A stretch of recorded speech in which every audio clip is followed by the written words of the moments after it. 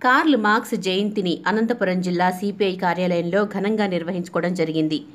ఈ కార్యక్రమంలో సిపిఐ జిల్లా కార్యదర్శి జగదీష్ సిపిఐ జిల్లా కార్యవర్గ సభ్యుడు సి. లింగమయ్య సిపిఐ నగర కార్యదర్శి శ్రీరాములు నగర సహాయ కార్యదర్శి Alipira colony secretary Kalpana Joshi E Prasad AIYF నగర కార్యదర్శి సంతోష్ ఏఐఎస్ఎఫ్ నగర కార్యదర్శి కుళ్యస్వామి మహిళా నగర కార్యదర్శి ఈ జయలక్ష్మి ఎస్కేడి నగర సెక్రటరీ జమీర్ బాషా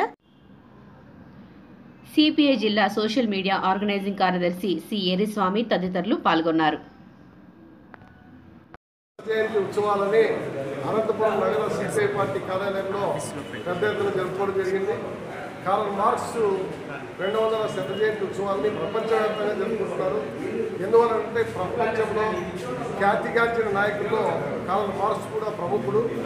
కారల్ మార్క్స్ రాసించినటువంటి ఈ యొక్క పెట్టుబడి పుస్తకం ఆయన ఒక తత్వశాస్త్రాన్ని ఆధారంగా చేసుకుని పెట్టుబడి శ్రమ దోపిడీ పైన పుస్తకాలు రాసి ఒక కొత్త సిద్ధాంతాన్ని మనిషిని మనిషి దోపిడీ లేనటువంటి సమాజాన్ని సృష్టించాలంటే ఇటువంటి దోపిడీ అంతం కావాలని చెప్పననే కొత్త సిద్ధాంతాన్ని ప్రతిపాదించాడు.